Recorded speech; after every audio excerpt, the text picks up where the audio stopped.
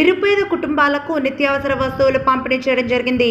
Chinni educational and rural development society ఆధ్వర్యంలో గిద్దలూరు మండలం తిమ్మాపురం గ్రామానికి చెందిన వై రంగమ్మ ఎం సీతారామమ్మ అనే నిరుపేద కుటుంబాలకు నిత్యావసర వస్తువులు పంపిణీ చేయడం జరిగింది.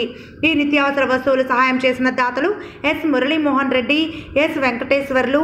ఈ సందర్భంగా చిన్ని సేవా సంస్థ అధ్యక్షుడు మాగులూరి శ్రీకాంత్ మాట్లాడుతూ లాక్డౌన్ కారణంగా ఇబ్బందులు పడుతున్న నిరుపేద కుటుంబాలకు నిత్యావసర వస్తువులు సహాయం చేసిన దాతలకు మురళీమోహన్ రెడ్డి వెంకటేశ్వర్లు గారికి చిన్ని సేవా సంస్థ అధ్యక్షుడు మాగులూరి శ్రీకాంత్ కృతజ్ఞతలు తెలియజేశారు.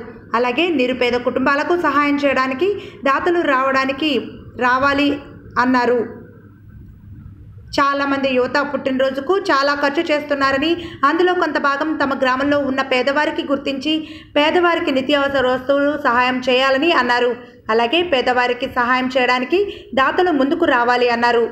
పేదవారికి సహాయం చేసిన వారు నిజమైన హీరో అన్నారు. ఈ కార్యక్రమంలో చిన్ని సేవా సంస్థ అధ్యక్షుడు మాగులూరి శ్రీకాంత్ ఎస్ వెంకటేశ్వర్లు ఎస్ అభిరామ్ అల్లూరు స్వామి పాల్గొన్నారు.